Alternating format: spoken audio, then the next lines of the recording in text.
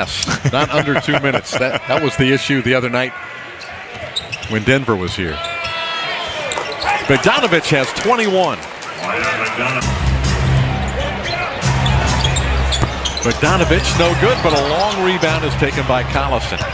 Tyreke Evans missed the layup. Tipped in by Indiana's Kyle O'Quinn. His first field goal. Needs to be in some sort of Hall of Fame.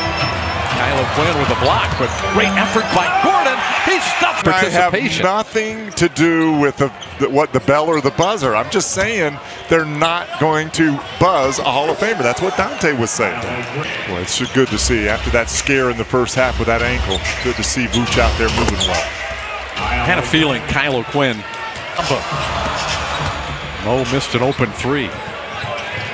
Well, those are the shots we made against Denver. Yeah, after hitting 23s the other night, an easy two points for Kyle O'Quinn.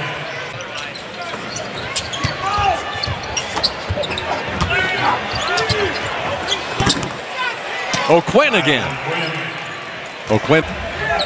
Indiana beat Utah at Utah. There's a nice execution and a pass from Kyle O'Quinn.